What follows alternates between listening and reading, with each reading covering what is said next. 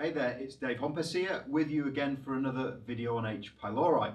Now in this video I'm going to answer a really common question, one that we get a lot when people uh, email us and call us for advice and that question is how on earth did I get H. pylori? How did it get into my body? How is it transmitted and how come so many people have it? And it's a really important question as well because most doctors tend not to know the answer to this question. It's a tricky question to answer because actually there are a multitude of different ways that this little bacterium can get into your body. Now, the first mechanism that we know for a fact holds true is that H. pylori can definitely be passed from person to person.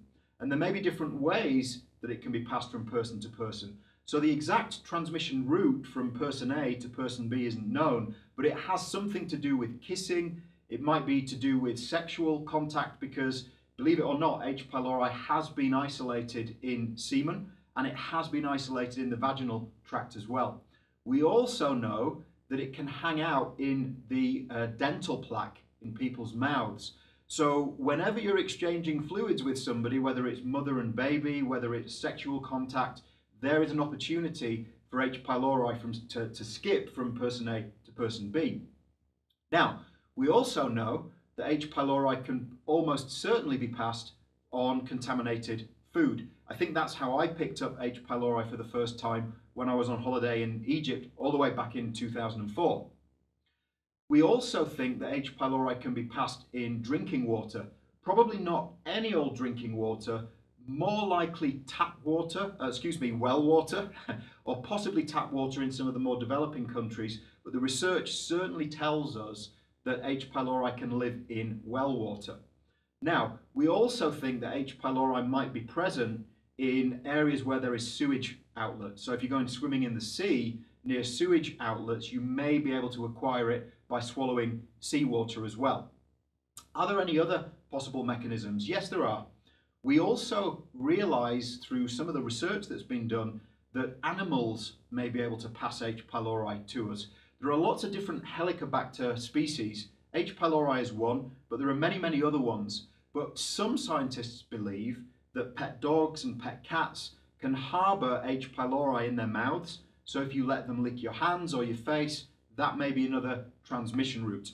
And finally, we also have the possibility, believe it or not, it's a little bit ironic, that certain hospital procedures might even cause H. pylori infection. You may have heard of something called an endoscopy, and you may even have had an endoscopy yourself.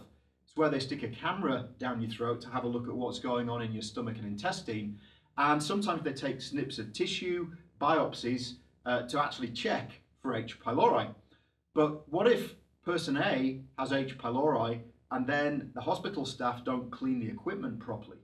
Hmm, that's an interesting one. And we do know from some of the medical articles that are out there that there's a suspicion that you can acquire H. pylori from improperly cleaned medical equipment. That's a little bit ironic because there's a test that's trying to detect H. pylori in some people might actually give H. pylori to some people. So not a particularly uh, clever way to go about business in the hospitals there. But in a nutshell, it doesn't really matter how you acquired H. pylori individually.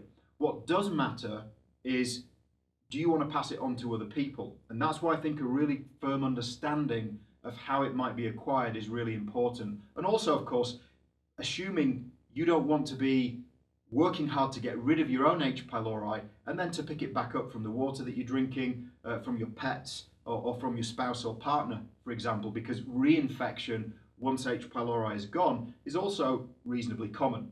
So I hope you've enjoyed this video. I hope it shed a lot of light on how H. pylori may have gotten into your body and also how to avoid it coming back once you get rid of it.